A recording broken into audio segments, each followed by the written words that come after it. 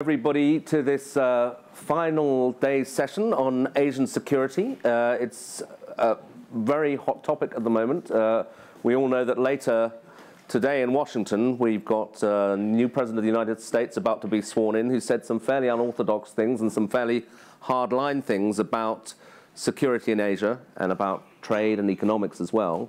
And I think that will set a new context uh, for some of the issues that we've become very familiar with in, the, in recent years, North Korea, the South China Sea, uh, all the issues surrounding the rise of China. So it's a perfect time to be discussing the context in which uh, Trump is going to be operating and how Trump himself will change that context. And we've got a great panel. Uh, let me just briefly introduce them. To my left, uh, Vivian Balakrishnan, the Foreign Minister of Singapore. Um, there, seated there is Yoichi Funabashi, who is uh, chairman of the Rebuild Japan Initiative Foundation and also one of Japan's uh, most experienced commentators on foreign affairs. Professor Lee Geun from Seoul National University, specialist in international relations, and Luhut uh, Pandjaitan, the Minister of Mar Maritime Affairs from Indonesia. So welcome to you all, and welcome to the audience, and indeed to anyone watching online. Um, so let me get straight into it. Uh, Foreign Minister, it seems to me it's a slightly tense time, to put it mildly, not just because of Trump, but because of the tensions that we've seen building in the South China Sea, mm. growing alarm about uh, North Korea. The Singaporeans are always noted for thinking calmly and rationally. So if you can give us your yeah. take on, on how things well, stand. Well, so the, the, first thing I want to say is that I don't view this as a tense time. I think there's some un uncertainties. In mm -hmm. fact, there's some major uncertainties. Uh, we've got a new president about to take his oath. And I think the first thing is we should, we should take him seriously, but I've been advised not to take it literally. Uh, so let's judge him, his administration, and his policies by actions rather than by words. So I think I would describe this as an expectant time. It's kind of weird, though, to say, let's, I mean, I, I know what you mean, but to say, well, let's just ignore what the President of the United States says because it's obviously nonsense and we'll just see what No, no, no, that, that's not the case. I, I, I wouldn't characterize that at, at all. But I think that the point is that he's an intelligent man. He's clearly responding to a political imperative, mm. domestic.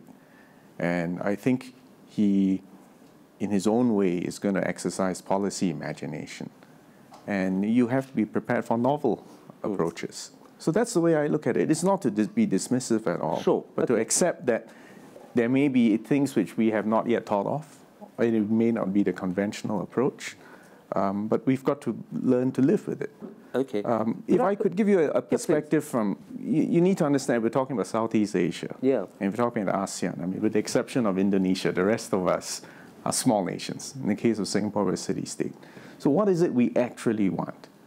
What we're hoping for is to have a balanced and open and inclusive regional architecture. Now, those adjectives are important. You know, balance, open, and inclusive architecture.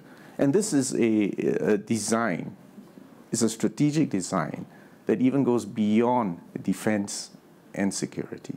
So what does that mean? In, in reality, it means we want to avoid zero-sum games. We don't want to be forced to choose, to take sides. I think if we ever get to that situation, it's bad for all of us. Sure. Second, we want it to be open and clear. One clear thing here is this commitment to free trade, open trade.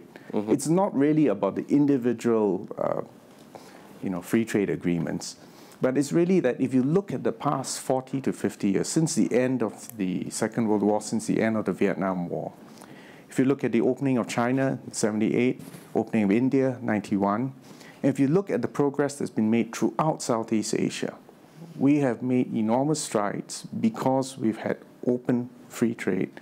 We were able to plug into the global economy. And we've had peace and stability.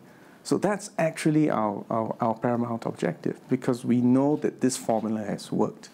And having stability, having access to an international regime, international law, and as President Xi has said, looking forward to improvements in global governance. This is the best possible outcome for us. Okay. Minister, I mean, you've just been, uh, it's been pointed out, Indonesia is, is the big country in Southeast Asia, and that's always given it a slightly different perspective. how do you uh, look ahead to the, the, the, security challenges over the next year or so? Uh, let me begin with uh, what happened in Indonesia the last two years. I think we concentrate to improve our economy, which is, I think, very important. You know, if we don't have a good domestic thing, then I don't think this is right time for us to go uh, overseas. So right now, our economy grew last year.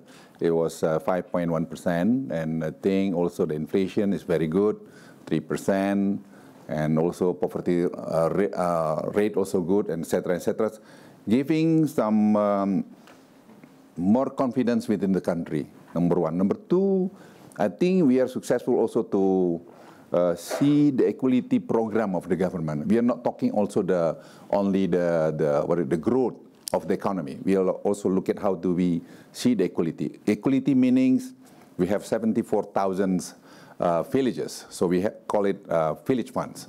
So every village, this uh, government, uh, you know, give a budget to them to move the economy within the village. Why with this one is very important, you know, because 230 million Indonesian population is Muslim. So we have to treat them well. Otherwise, you're going to see some radicalism within the country.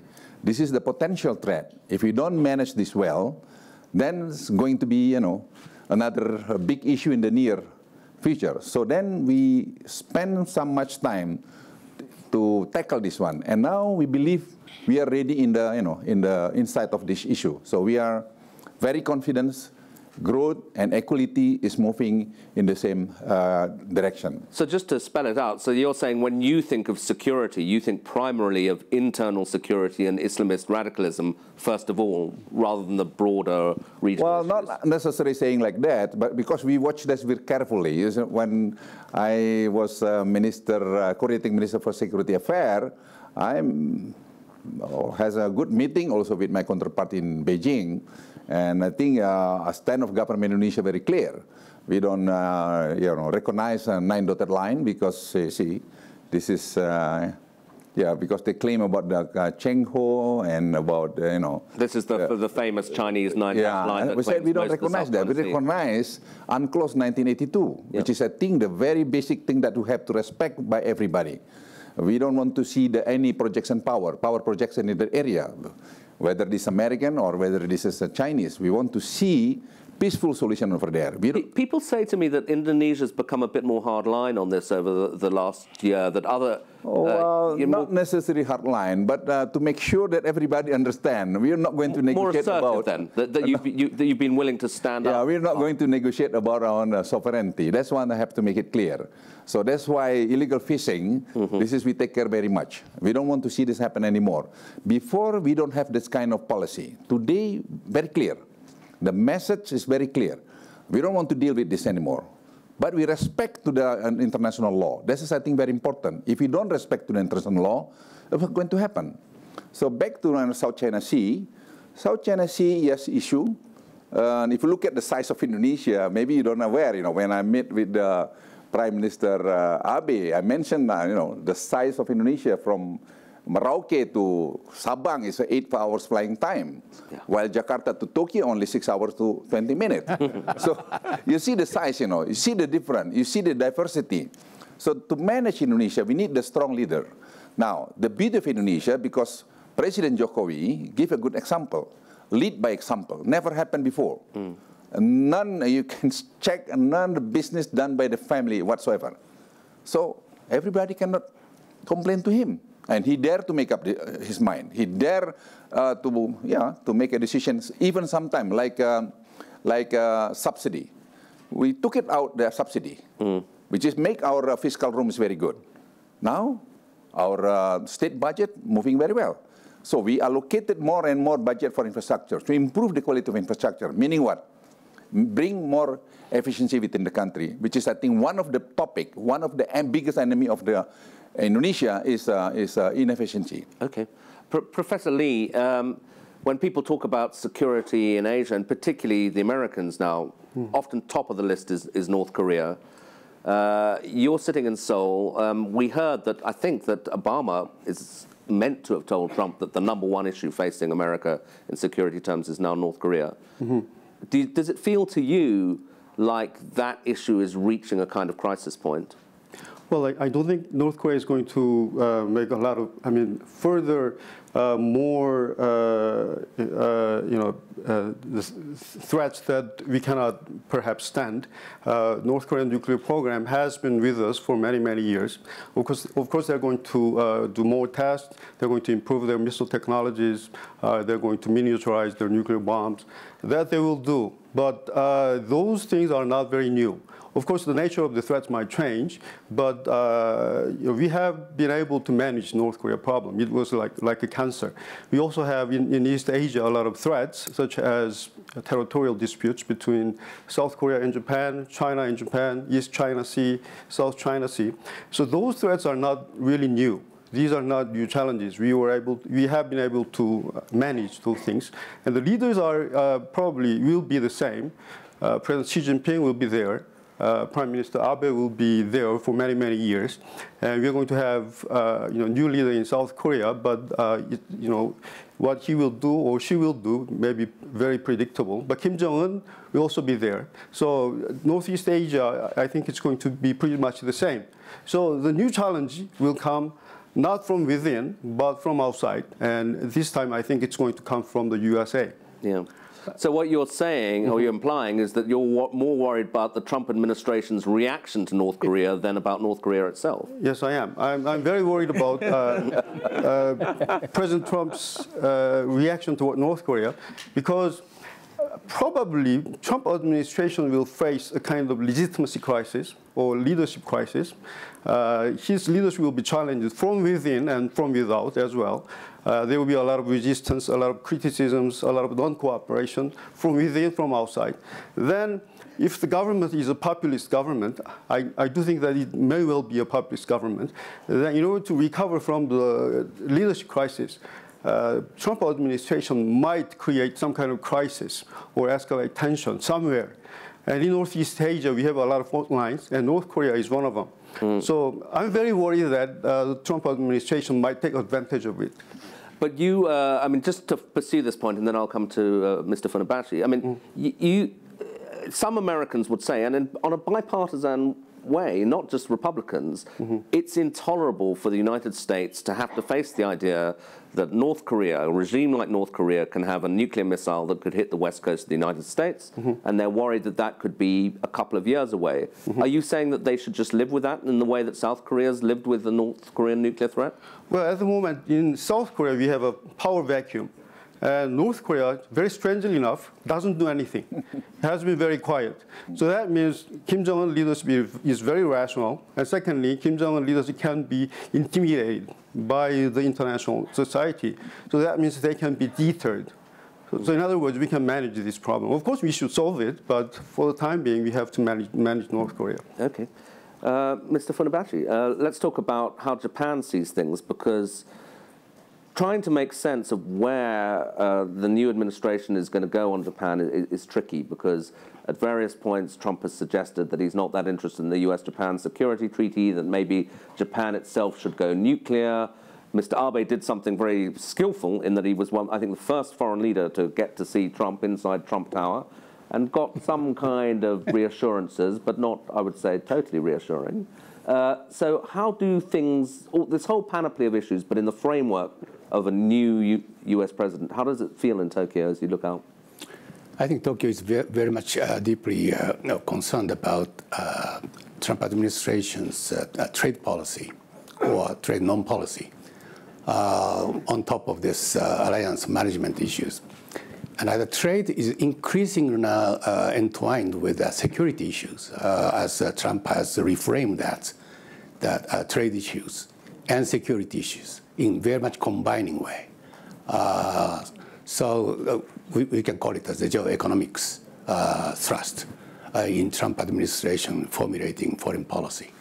And I think Tokyo is very much deeply concerned about the trade war actually taking, taking place. Uh, if uh, Trump's uh, rhetoric and words would translate into actions and policies. And trade war aimed at, at Japan as much as at China?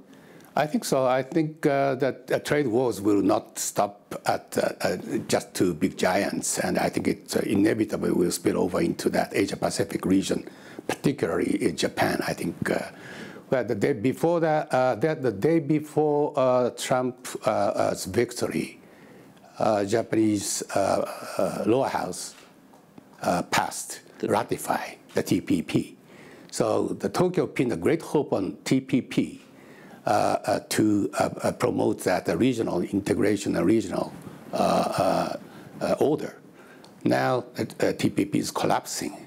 So I think that's there has emerged some vacuum of, in terms of a regional order vision right now. Mm. So uh, yeah, I mean, I sensed uh, obviously you, you, are concerned about uh, Trump and the kind of uh, direction he's taking, and yet, what options does Japan have in security terms other than the United States, given the depth of concern in Japan about the rise of China? I think there's no other alternative uh, to US-based uh, security system and framework in the region. So, um, and there's no substitute for that alliance system uh, to ensure that peace and security in the region. This, is, uh, this region is still uh, a jungle, rule of jungle prevailing, as illustrated in North Korea as, you know, as well as Taiwan, perhaps. So I think that's the best hope for Tokyo would be to sustain that alliance system as much as possible uh, to prevent that alliance system uh, from being compromised by this geoeconomic uh, short-term tactical calculations uh, emanating from Washington. Okay. So, uh, Foreign Minister, if I can come back to you, I mean, Rex Tillerson, who's actually often looked to as a voice of experience and calm, possibly within the Trump administration, said something which seemed to me quite startling in his uh, testimony before the Senate, where he said that the US not only could not accept that the uh, artificial islands that uh, China has been building in the South China Sea, but that they would potentially block access or tell the Chinese that they couldn't have access to those islands, which sounds you know, like something that could rapidly uh, lead to a military confrontation. Is, is that how you read it? Well, I was surprised when I read that. Um, and I think we all await with bated breath to see how he will square what he said uh, with actions on the ground. Because if you take that literally, it must mean a conflict. It must mean war on the ground. And that's not something which any of us wants. And I don't think China or the United States want war either. Because if you think about all the discussion so far, the key point here is that everyone wants economic development. Mm. What I believe President Trump wants is jobs and business prospects for his companies, which is an entirely reasonable prospect. If you think about the interests of China, China has done very well in the last, you know, since 1978, and it's been under the aegis of the current regime. I mean, it's not perfect, but they've done very well. And surely it is in their interest to continue to do well. And with time, time is on their side. They'll do better, they'll become more strong. Uh, they don't want a war. And for the rest of us, you know, Japan, Korea, and certainly for us in ASEAN, we just want stability. We want some level of predictability. Then we can adjust our policies. I mean, we are, we are price takers, right? So we have to adjust, we have to accept the region as it is. We can't shape we can't we don't determine the agenda of the world. I mean, you say you make the point that China it's obviously not in their interest to have a war, given yes. how well no, things I'm have been certain going. it's not in their interest. But you also said, uh, to reiterate, yes. that there would be a war if America tried to blockade those islands. I mean, so you can't see China, in, under any circumstances, backing down on that. I don't think they will back down on that. So the United States and China needs to have some quiet, private in substantive discussions. Perhaps they should have those discussions in Singapore. You're quite good at convening these well, things. I'll be happy. I'll be happy to host them. But, uh, but I mean, it doesn't matter where. The point is there has to be a meeting of minds. Yeah. And, and deep appreciation of their permanent interests. And just a last question on this particular theme. I mean, you said in your first contribution that Singapore and the countries of Southeast Asia generally don't want to be forced to make a choice between these two giants. Yes. But can you feel that squeeze coming on? I mean, I noticed, for example, the way in which the Chinese impounded those Singaporean uh, trans military transport things going through Hong Kong. Mm-hmm. That seemed to me to be pressure on Singapore, perhaps because they didn't like what you had said about the international court ruling in The Hague. That was how a lot of people interpreted it. Well, I wouldn't interpret it that way. Um, I'll come back to avoiding a zero sum game. Mm. And in fact, if you carefully parse the statements of the Chinese, and I believe ultimately even of the Americans, it's in no one's interest to force us to say you're either with us or against us. Um, and the reason we're saying we're taking this position is because we say, look, look, let's look at the past couple of decades. We've been ha- we've had good, open relations with everyone, and we haven't had to beggar your neighbor. We haven't had to have conflict, and we could all prosper together. So, so that's the point. I mean, there's a clear track record, and if you know, we hope that the major powers will not draw the wrong conclusions from that. Mm. And I, am still an, an optimist that yes, you can have strong leaders, you can have leaders responding to populist pressures, but at the end of the day, if they take a longer term view and they understand what the permanent interests are, and that economics actually trumps security, well, we're at the World Economic Forum, yes. so I guess well, that's the so right. this is a, I'm, I'm preaching to the converted. Yeah, absolutely. Right. So, so the point is this: what everyone wants, all over the world, mm. at a people level, are good jobs, mm. and they want to be paid fairly for that. What companies want are opportunities to expand. So we've got to find a way so that people can get jobs, and companies can expand, and we don't unfairly blame free trade that, that's what I'm most worried about right mm. now. Well, the that, trade war rather than the actual shooting yes, war. Yes, it's yeah. trade war because, and even the TPP, to us, the real significance of the TPP is not just the, the minutiae of the, the regulations and the agreement itself, but to reflect that the United States has real skin in the game in the economic development across the Pacific. And that this is best pursued in an open, inclusive, and balanced way without be forcing people to take sides, but just to look at their long term interests. Um, uh, in the past 70 years, the Cold War started and ended without a nuclear weapon being fired in anger. Mm-hmm. Right? Europe, EU, for all these criticisms against the EU, the greatest achievement of the EU was to make war on the continent of Europe unthinkable a continent which cost at least 60 million lives in the last century. That's great.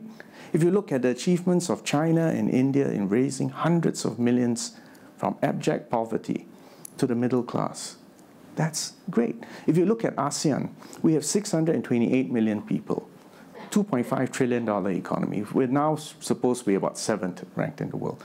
But if you look at the demographic composition of ASEAN, we are young. In the next 20 to 30 years, we can quadruple our economy to $10 trillion.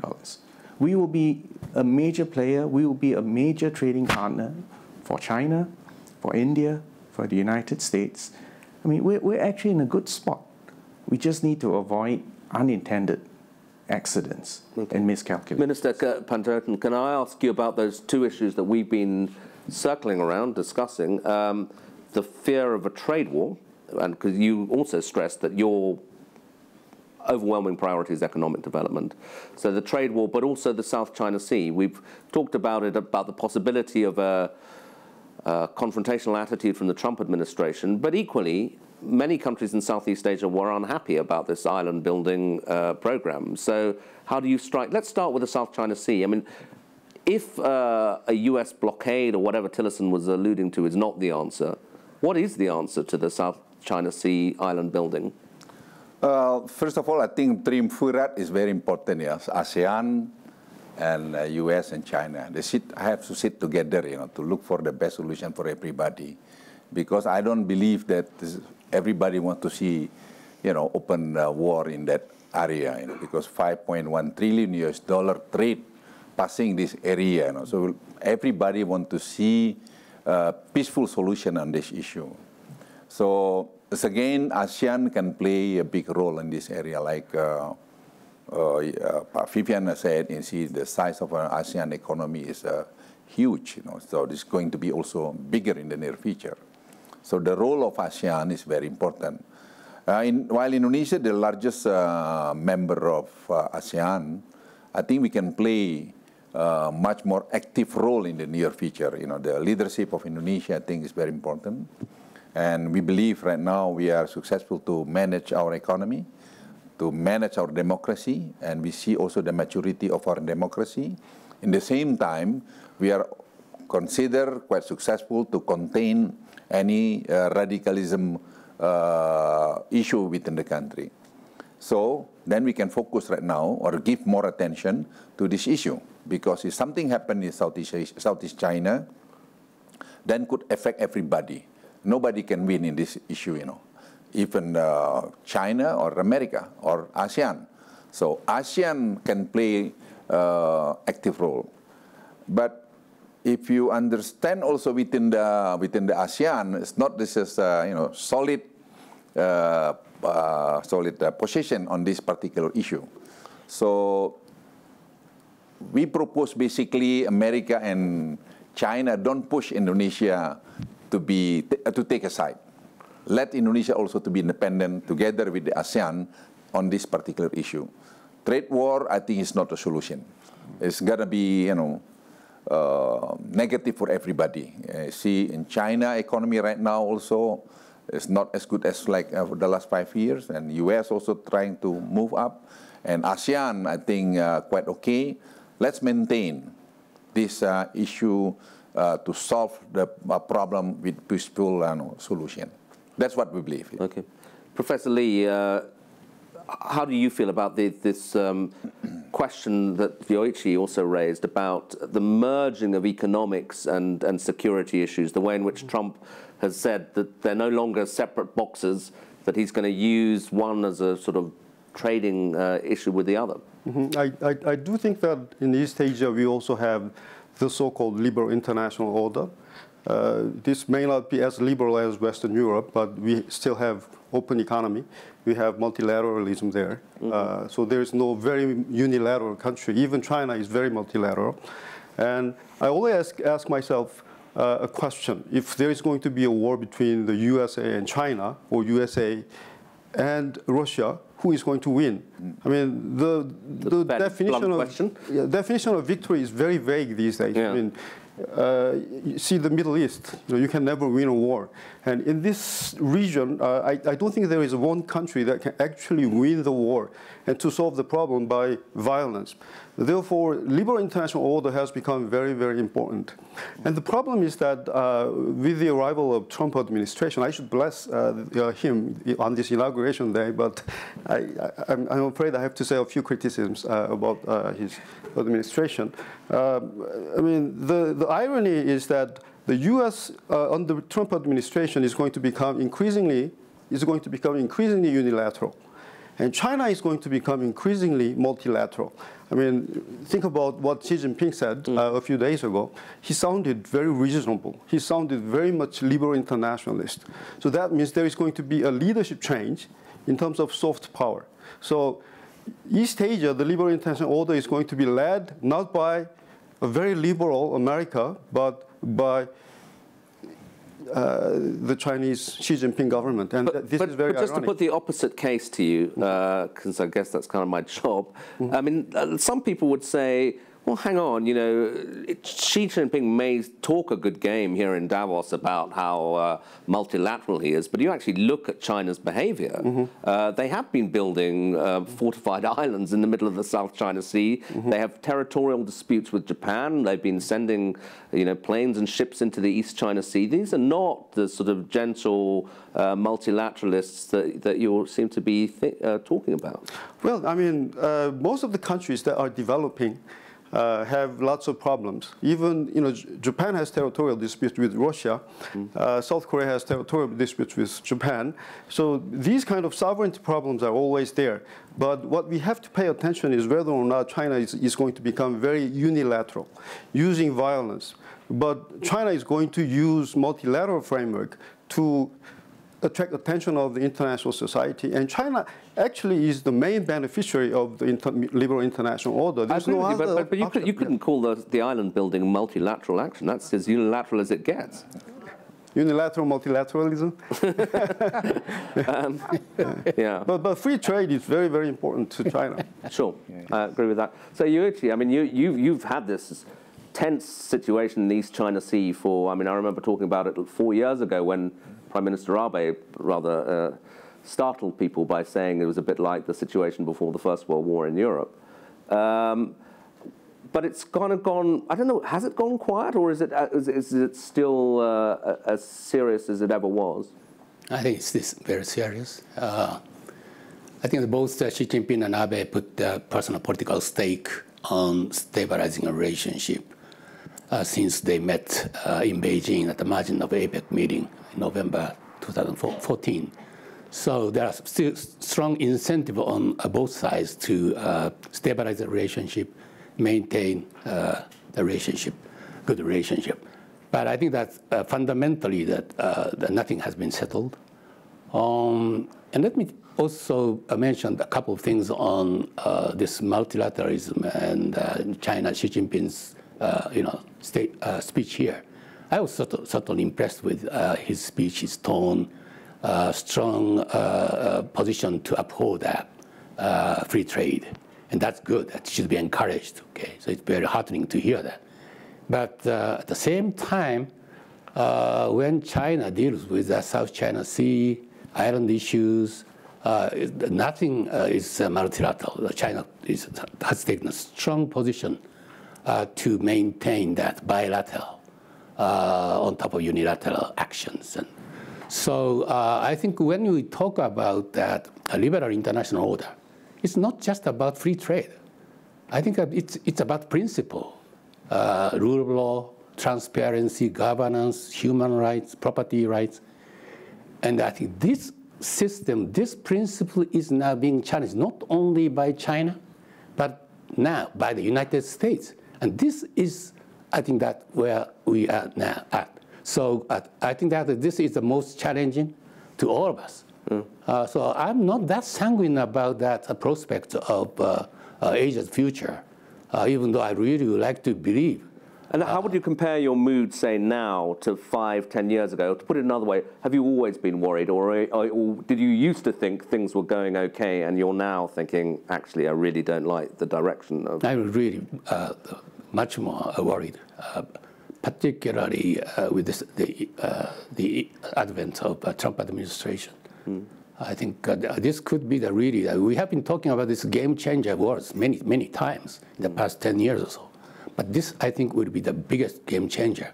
If Trump's rhetoric will really translate into actions and policies, I think that could unravel the whole thing of the whole premise of U.S.-China relationship, liberal international order in Asia Pacific, ASEAN, for instance, could be the first casualty, in my view.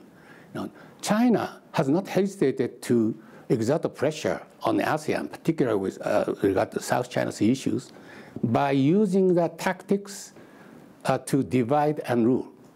Perhaps to put it more accurately, divide and trade. Okay? now, the United States, as uh, Professor Lee Geun said, has now uh, seemed to resort to unilateral and bilateral uh, trade deals over the multilateral. Okay, so I think that the ASEAN really, I think, would be in, under stress, and it could even, you know, start to unravel that this, you know, ASEAN's uh, centrality of the regional order, ASEAN integration, which has been the foundation of peace and stability in the whole Asia, East Asia. Okay, well, that's a very uh, stark prospect. So mm. we have the Minister of mm. Foreign Affairs of Singapore here. ASEAN could unravel, could it? I think you need to look at ASEAN in perspective. We just celebrated 50 years. If you think about its origin, it was non-communist Southeast Asia. At a time when we were worried, remember there was a domino theory. The rest of us would fall. It's part, it, and that really was an extension of the Cold War anxiety. Mm. Since then, we've incorporated um, you know, Indochina, and we now have 10. Right? The point is, I think people were far more critical in the past about ASEAN. And they said, well, you guys take so long to do anything. You depend on consensus. Nothing ever gets done, it takes so long. But you know, frankly, after the recent events, if you look at what's happened in EU and all that, ASEAN as an association that recognizes great diversity, and therefore that, in that obtaining consensus is essential. It's better to get the pace and the sequence right rather than rush headlong into things. The other thing about ASEAN, and again, if you look at our history, we have always had big powers or colonial powers in our neighborhood.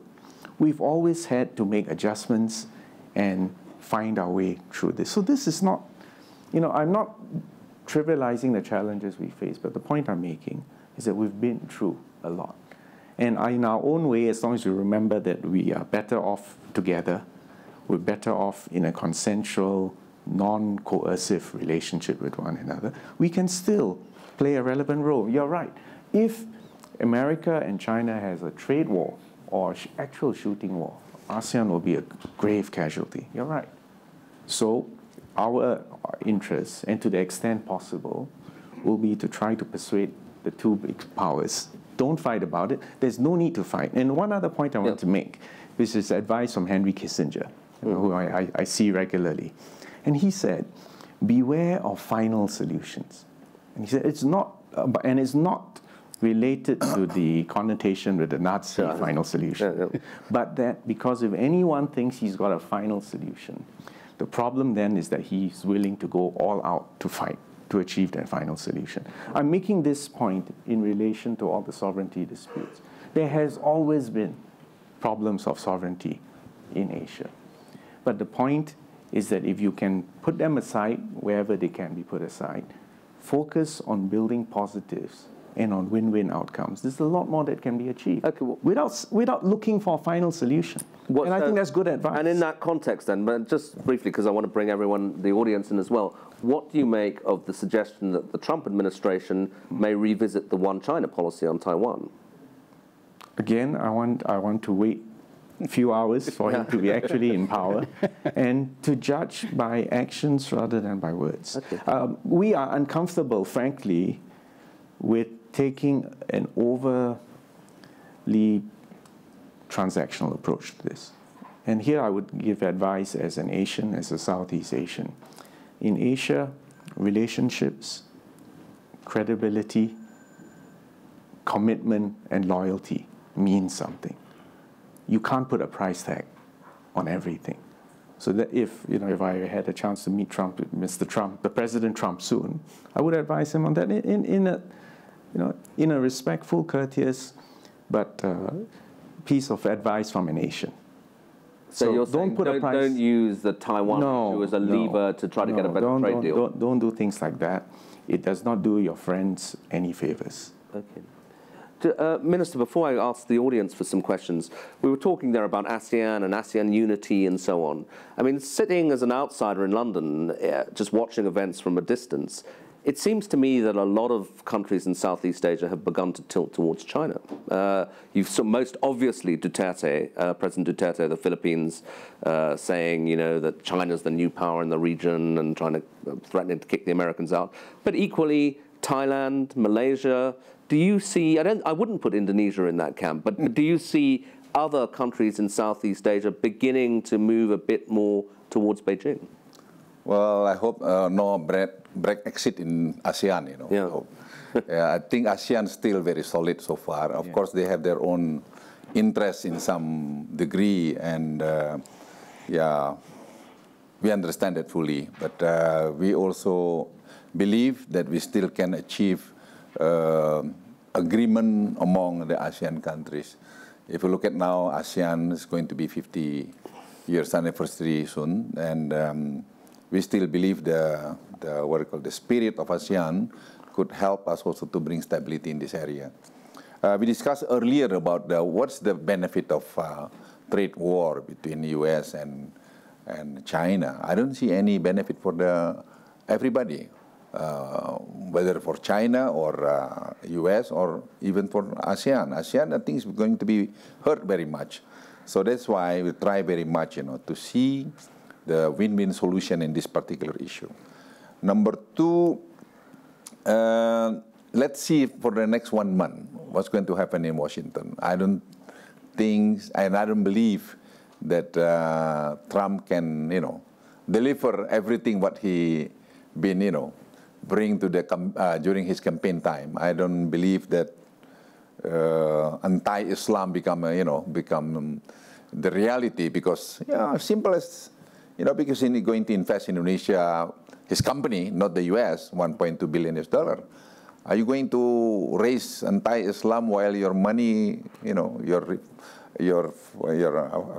Uh, I didn't realize that the Trump organization is about to make a 1.2 billion yeah, investment yeah, in, yeah, in and that really. Yeah. So you see, you can imagine you put your money over there, 1.2 billion US dollar. You're going to raise uh, anti-Islam against Indonesia. That's going to be hurt your own personal uh, investment. So know. we have so to rely on his that's one indication. Yeah. You know, that's one indication that I don't believe it's going to be like this. You know, maybe he has a, a bad experience with uh, some other, uh, you know, uh, area, but I don't believe that with ASEAN he can have some uh, difficulties. And I still believe that he can, we can see something different from the new administration soon. So that's my prediction. So um, look at uh, uh, Trump's pragmatic uh, uh, personality, and he can deal easily with somebody. I don't believe that he can, you know, uh, like um, confront with someone. At the end, I believe that um, look out for the interest of everybody. If it is good interest for uh, for America, good interest for ASEAN and China, I think they can go along with this one. So I sense it's a split with the Southeast Asians inclined to say it'll probably be okay and so on, and the Northeast Asians, Japanese and South Koreans actually seem to be much more worried, or at least maybe from, or maybe it's just a split between government ministers who have to be cautious and uh, pundits who can actually yeah. say what they think. You're right. no, yeah. no, I, I, I, I am optimistic. Yeah. And as I said, Look, all of us politicians have mm. to hmm. respond to our domestic constituencies. Foreign policy, trade policy begins at home, right? Mm-hmm. Then, next question is what do you think President Trump needs to achieve for the sake of the American people? He needs to create jobs, he needs to provide opportunities for businesses both within and outside America, and he needs to achieve security. Now, these three objectives are not unique to the United States of America. All of us want it.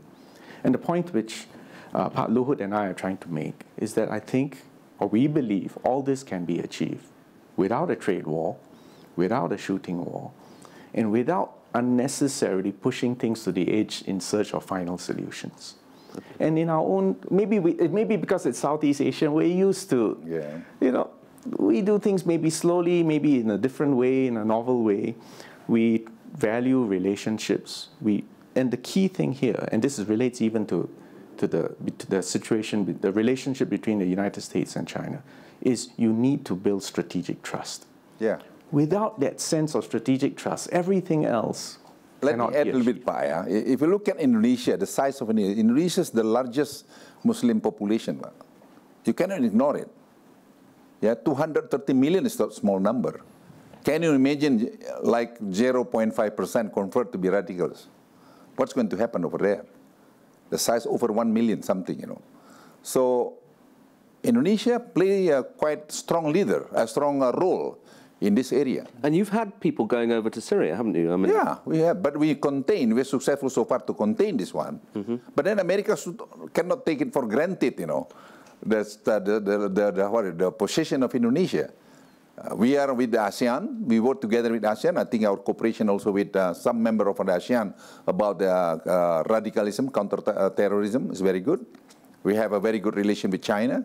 We have a, good relation with America. So now what are we going to achieve, basically? Are we going to uh, zero-sum game or what? Are we going to see win-win?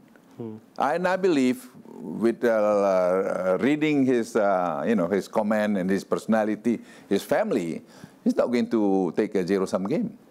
I think his, uh, his solution is win-win. You're, you're, cheering me up a little bit. Uh, Pro Professor Lee. Well, I, I might have to say that I'm a bit more optimistic than uh, you know, Funabashi, uh, Mr. Funabashi, particularly about uh, China. Uh, not really about uh, Trump administration, because we have been worried about China for many, many years, 30 years, 40 years. China has been deceiving. Uh, China still remains as a socialist. It's an authoritarian country. Uh, it has a lot of problems. Rise of China, China threat. But for the last past 30 years, we have achieved economic growth. We have achieved more open market. We have achieved more free trade agreements. And China contributed about 70, 80% uh, to global uh, economic growth. And if, if China is benefiting free, from free trade, uh, free trade, then China has to rely upon international institutions Okay. for, for stability and predictability and transparency. I think I've just seen the, is that the 15 minute marker? So I'm sorry about that. I thought we had rather more time. So I should definitely turn to the audience now. Um, yeah, the gentleman at the back. Ken Choi, uh, Chosun Daily Newspaper from Korea. I'm a Korean. I beg to defer to Professor Lee's point of view uh, on North Korea. I have a great respect for him. We are good friends, but I worry more about North Korea than Donald Trump's administration. Uh, that's pure fact, and I think most Koreans do that. Uh, just simple questions. Uh, it's inconceivable to talk about Asian security without Chinese or American panelists here. So I'm just going to throw you some devil's advocate uh, thing. Most Chinese that I meet, they always say that the root cause of this international conflict or problems are all because of the Americans. I just want to ask all each panelist what what would you think? And as Minister from Singapore said, that it's inconceivable to talk about, I mean, think about a war in Europe, and I think that's because they have a NATO. It's a military organization.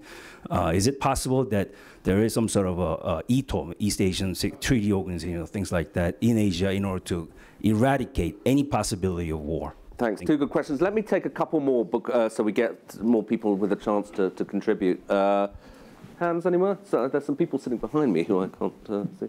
Uh, yeah, Lally Weymouth. Could we just- Could I ask uh, the gentleman from South Korea, slightly off the um, path question, uh, could I ask you a bit about how you see the future of your country's leadership? Yeah, yeah, the, the, inter- the, the internal political crisis in, in South Korea. And, and the gentleman here is a third question. Shinichi Kitaoka, President of Japanese International Cooperation Agency, and also Professor at uh, Emeritus of Tokyo University. I have uh, a couple of questions. One is that uh, certainly the win-win game is desirable, it's a must, but actually it is possible. Only the, your counterpart is uh, hoping the same way. If the other side is not willing to be in a win-win game, well, then what would you do? Secondly, certainly as uh, uh, Mr. Funabashi pointed out, the best hope is uh, the continuation of the U.S.-Japan Security Treaty as well as the U.S.-Korean Security Treaty. But uh, uh, in order to maintain those treaties, what about the division of labor between those U.S., Japan, and U.S. and Korea? Are there any anything necessary to change? Okay. So I guess that's the old issue of burden sharing. Should should Japan and uh, South Korea be doing more, which obviously is very much at the forefront of Mr. Trump's mind.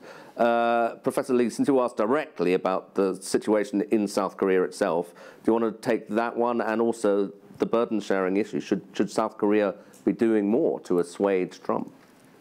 Well, uh, with regard to the future of uh, my country, South Korea, I think uh, there is going to be uh, definitely a transfer of power from the current uh, ruling party toward the opposition party. I don't know who is going to be the next president, but uh, people are fed up with the so-called ancien regime, which is the old system. So uh, it is very likely that the Progressive Party is going to you know, be the next government. And what th- that means is that it's going to be somewhat more transparent, less authoritarian, and it's going to be somewhat more future oriented. But what I really want to see is a generational change rather than just a power change. Um, Secondly, about, about the ETO question, I, I think in, in East Asia it is almost impossible to have a multilateral security framework because we have Russia, China, Japan, and, and the USA, and they are not East Asian powers, they are global powers. And if we have a multilateral framework there, it's going to be a global framework, and that is not possible. Uh, burden sharing, I, I hope you can do a lot of you know, division of labor, but we have history issue, and that really Yeah. prevent us from cooperation. Yeah, what, what, Yoichi, I mean, what, I mean, obviously, Prime Minister Abe has been trying to sort of widen the scope of what Japan can do in a military sense. Uh, but what are the domestic constraints on him if Trump comes in and says, look, guys, you've got to spend more, you've got to do more? Um, well, I think uh, the Abe administration enacted uh, security-related bills uh, two years ago uh, to allow Japan to do more proactive uh, uh, contribution to international peacemaking and peacekeeping by mobilizing the military asset, Japanese military assets. So that was the first, I think, the right direction in my view. But I think that Japan can do and should do more. Um, I think first, perhaps Japan really should play a sort of uh, uh, intermediary and even facilitator role uh, to uh, getting the, in order to get the United States engaged in the region uh, by uh, strengthening, for instance, that civilian Coast Guard capability in South, not Southeast Asian countries such as Philippines, Vietnam, and Indonesia and the others uh, which actually Japan already has initiated that, that, that uh, uh, process. Also, I think Indonesia and Australia actually now has agreed to pursue joint naval patrol uh, in South China Sea. Uh, I don't think it has been activated, but I think that it's a great potential. So I think that gradually that Asian countries are now exploring how to really uh, pursue that autonomous way to uh, strengthen that uh, peace and security uh, mechanism in this region. In other words, Asianizing that efforts. I think that's, I think, in the right way. Okay. further questions, anyone? Um, yeah, over here, and then at the back, and then the gentleman here. Gosh, there's so many. Uh, yes, uh, but but the person in my direct line of sight had the unfair advantage, I'm afraid. Um, Lee Howell, World Economic Forum. Um, one historically, um, energy, or more specifically, energy security, has played an important role in really the, what is, in many ways, sources of potential conflicts or actually led to conflict. Um, but that the energy story is changing, and it's changing globally, and it's also obviously changing in the Middle East, but predominantly I would sort of reflect on what's happening in the U.S. Um, how do you think that will ch change some of the, the, the, the, the uncertainty or anxiety around what you're discussing? Um, how do you factor in the energy picture here? Okay. Uh, uh, there was a gentleman just at the back there uh, against the wall. Hi, I'm uh, Mukund Rajan from the Tata Group of India. I was just curious, as the other large emerging power uh, in the Asian region, uh, do the panelists see a role for India to play in regional security? There's been talk about building out uh, Blue Water Navy in India. Okay, and uh, just here. Hi, uh, my name is uh, Anin Bakrie from Indonesia. Um, coming from business sector, this geopolitical instability and uncertainty is certainly not a good thing and not sustainable. So how long do you think the U.S. and China uh, tension will be there until they find new equilibrium? Thank you. Yes, well, uh, yeah, last one, just, just here. Okay, two more. One, one there and one there. I'm Yoshi Hori of Globis Japan. I have a question to Professor Lee. You mentioned about history. However, Japan and Korea has agreed upon a comfort women issue as final and irreversible. And however, the issue is coming back again, and there was a statue being built in front of the uh, Busan Council, and, uh, the, and the ambassador has been com coming back to Japan. How can we solve the issue? It should have been final and irreversible, and we should okay. look for the future. And what is your comment? Okay, last one, chap over here. Yes, my name is Tadashi Maeda, uh, CEO of Japan Bank for International Commercial Cooperation. One uh, uh, quick comment on the Chinese policy, and also one question to the uh, both uh, minister from uh, Southeast Asia. My comments on on China policy is that despite a very much proactive speech by uh, President Xi Jinping, they, uh, China is pursuing their own national interest. They are not mixed up the issues uh, between trade and security. Therefore, that now that they're not, Mr. Xi Jinping is very well calculated to gain something from the uncertainty created by Donald Trump so that he uh, made the spread on the impression of a pro-trade, free trade China to, uh, to take occasion of World China Sea, uh, World, Economic Forum. So my question is that what China did in maritime security issue in South China Sea uh, with uh, ASEAN countries. What China did is uh, try to make the, the uh, divide and rule in in uh, ASEAN country. They're uh, cast some uh, the influence over Cambodia now to uh, not be created a uniform the position on the entire ASEAN. They tried to make a, divide and rule. So how do you see that your the position with Chinese counterpart from your viewpoint? Okay, well, look, uh, we've got five excellent questions in less than five minutes. So I don't think anybody's going to be able to answer all of them completely.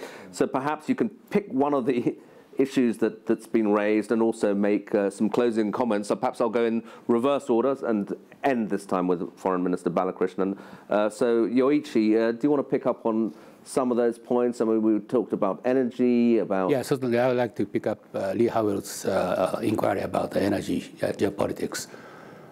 Um, let me just uh, confine that issue to Japan's case. I think uh, Abe and Putin met uh, uh in, uh, in, Japan most recently uh, last month.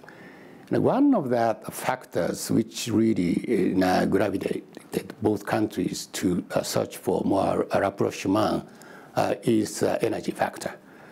increasingly, the world has seen, the Asia particularly has seen that sea lane uh, defense and energy security being uh, challenged by, say, uh, melting down, you know, Middle East, as well as militarization of South China Sea.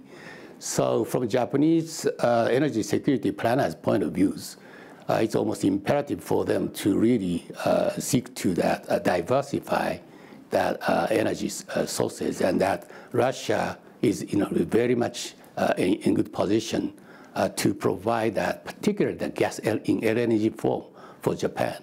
And already 8% of Japan's uh, energy, fossil energy, I should say, comes, has come now from Russia. And Russia actually has proved to be very stable, reliable supplier. Okay. Professor Lee, uh, you were asked about the, the revival of the comfort women issues. If you want to briefly address that, but also perhaps uh, have a concluding comment or two, all in a minute. Okay, uh, the comfort woman issue, uh, when it was announced by the foreign ministry, everybody was taken aback because uh, Park Geun-hye administration had been very hostile toward Japan, but all of a sudden they came up with this agreement. So from the start there was a legitimacy problem. Uh, so people were not really, uh, you know, for the agreement. And, and secondly, uh, the Japanese approach toward this issue is very much legal uh, and very much economic to a certain extent.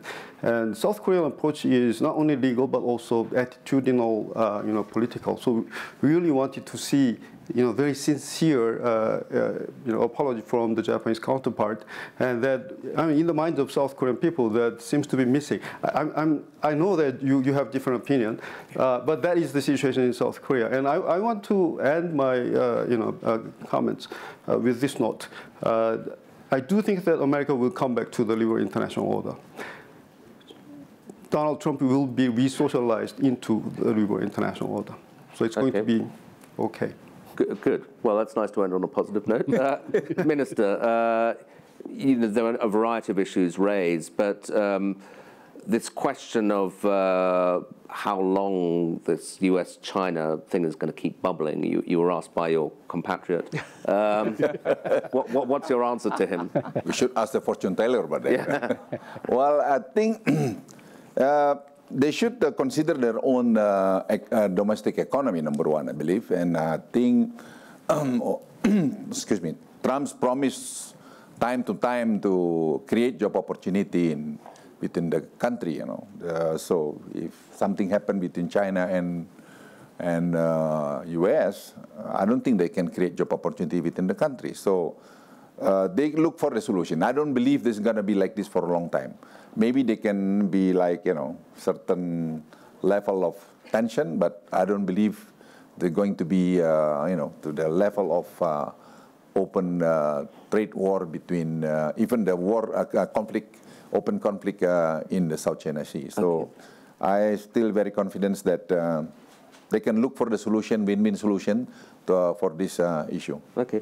Foreign Minister Balakrishnan, yes. your, your last words, and also uh, we were correctly reminded that we hadn't mentioned India as a major player. Yes. If you could just have a couple of thoughts on that as well. Yes. I'm a believer in realpolitik. If we allow ourselves to be intimidated, if we allow ourselves to be divided, if we allow ourselves to be distracted from economic growth, good jobs, and prospects, then we deserve our fate. That's first thing. Second thing is to understand that big powers have a standard playbook. And everything which they're doing now is not really new or novel. But the way I approach it, first amongst my own brothers and sisters in ASEAN, is to remind everyone that it is our, in our own interest to stick together, to maintain neutrality, to expand our strategic options, rather than to be divided and broken down into a series of vassal states. And that's eminently rational.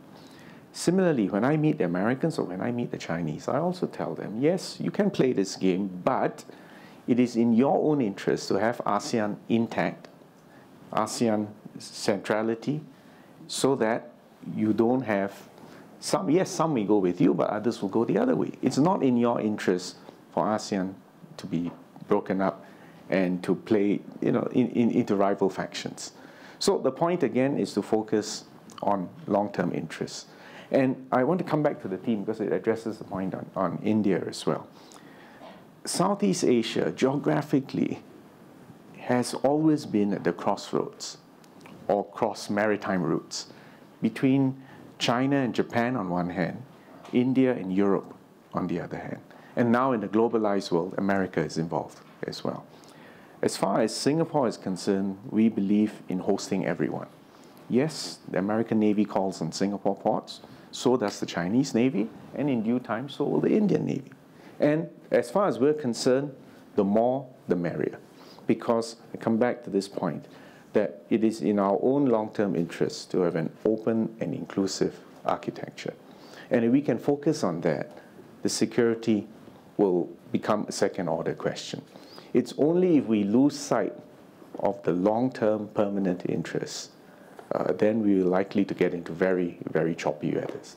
Now, I don't think anyone can give you a timeline as to when we'll see blue skies and placid seas again. But I don't think that we should be unnecessarily gloomy or worse, create self-fulfilling prophecies so that people think they have no choice but to react over defensively. Uh, and there's no room for a deal, no room for alignment, even if it's only temporary. Okay. Well, you have a very calming bedside manner, which is appropriate well. for a former doctor. Uh, so thank you very much to, to, the whole panel and to the audience. Thank you. Okay, cheers. Well done. Thank you. Thank you.